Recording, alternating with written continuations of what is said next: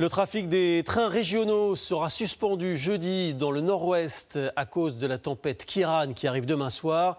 Les mesures de précaution se multiplient en Bretagne, le long des côtes ou sur les routes. Quant aux habitants, ils protègent leur maison. Des préparatifs intenses que nous montrent Julien Cressant, Médéric Perquer et Kevin Guignot. Du bois pour protéger ses vitres. Des piquets pour renforcer sa clôture. Cet habitant du Finistère se prépare déjà à l'arrivée de la tempête.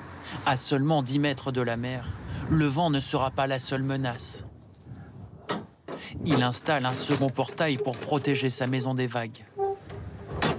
Les épisodes de tempête, euh, eh bien, euh, ici sur la route départementale à Melon, on en est euh, les premières victimes. Plus au nord, dans le Cotentin, cette restauratrice fait démonter en urgence le toit de sa terrasse. Je suis euh, quasi certaine qu'il ne va pas résister euh, à la force du vent qui est annoncée. Donc, euh, par anticipation, je préfère faire démonter le toit. Anticiper. Avant l'arrivée de la tempête Kiaran prévue demain soir sur le quart nord-ouest. Des rafales jusqu'à 170 km/h sont attendues localement, aussi puissantes que celles de la tempête de 1999. En Vendée, le pont menant à Noirmoutier pourrait fermer si les vents venaient à dépasser les 120 km/h. En attendant sur l'île ce camping ferme, les clients devront être partis demain matin. Bah, cette nuit, ça va, nous, on est dans. Demain, on rentre. Le camping y ferme, alors euh, on n'a pas le choix. Des perturbations sont attendues sur les rails. Jeudi, le trafic des TER sera totalement interrompu en Bretagne, en Normandie, en Centre-Val de Loire, dans les pays de la Loire et dans la région des Hauts-de-France. L'aéroport de Brest, lui, fermera demain à 17h pour ne rouvrir que jeudi matin. 3200 sapeurs-pompiers et 4 hélicoptères seront mobilisés. De leur côté, les préfectures appellent les habitants à éviter les zones en bord de mer. On voit que Météo France n'a pas revu ses prévisions à la baisse, bien au contraire. Trois départements bretons seront en vigilance au vent violent, mais euh, attention aussi au risque de pluie inondation dans le Finistère et le Morbihan, une vigilance qui commence euh, demain soir. Dans les communes, les services de secours et les élus se mobilisent. Julie Jeunemaître et Robin Kahn ont suivi un maire dans le Finistère Sud. Vigilance maximale pour les gendarmes. C'est le, lieu le plus dangereux en fait qu'on ait, hein. euh, le plus dangereux parce qu'on aura du coup des vents qui vont arriver droit face à nous, une houle qui va monter en fait très rapidement avec un surplus de 1 mètre. Sur la côte, il relaie les messages de prévention. Messieurs, dames, bonjour. Vous savez que demain la digue va être interdite d'accès, toute cette euh, partie? Le danger en cette période de vacances, de nombreux promeneurs, peu habitués aux tempêtes. Il faut prévenir euh, dès maintenant. On a déjà attaqué déjà depuis deux jours parce que les, marées euh, qui, ont précédé déjà nous ont, bien, nous ont bien alertés sur ce qui allait nous arriver. Tout le monde est déjà sur le pont pour la tempête. Dans cette commune de 3700 habitants, déjà frappés par des intempéries ce week-end, les élus font le tour des commerces.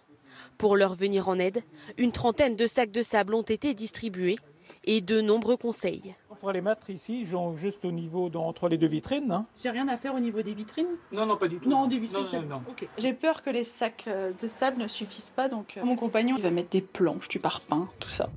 Le risque de submersion marine est élevé. Ils vont mettre euh, une gueuse de béton là? Oui. Au milieu? Ouais. Dès cet après-midi, barrières et blocs de béton ferment l'accès à cette route.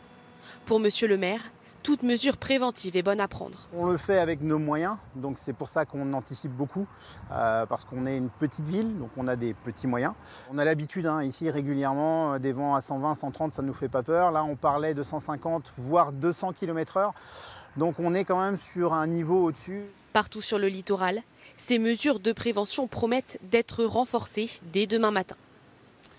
On voit que le sud de la Bretagne se prépare tout particulièrement en suivant les préconisations de Météo France euh, qui s'affinent d'heure en heure et les prévisions également parce que Météo France se projette, d'autres épisodes se profilent déjà et d'ailleurs ces épisodes se multiplient en réalité depuis plusieurs semaines maintenant.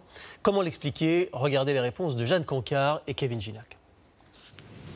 Dans 24 heures, c'est ici, sur les côtes bretonnes, que la tempête va déferler en premier. En ce moment, la dépression Kiran est au milieu de l'océan Atlantique. Elle se déplace très vite. Dans la nuit de mercredi à jeudi, la tempête arrivera par la Bretagne, puis va longer les côtes de la Manche. Les vents pourraient atteindre 130 km/h dans les terres et jusqu'à 170 sur les côtes. Depuis une quinzaine de jours, les dépressions se succèdent en Bretagne. Il y a eu Aline le 20 octobre, puis Céline le week-end dernier. Ces événements rapprochés s'expliquent par un phénomène appelé par les spécialistes le rail des dépressions.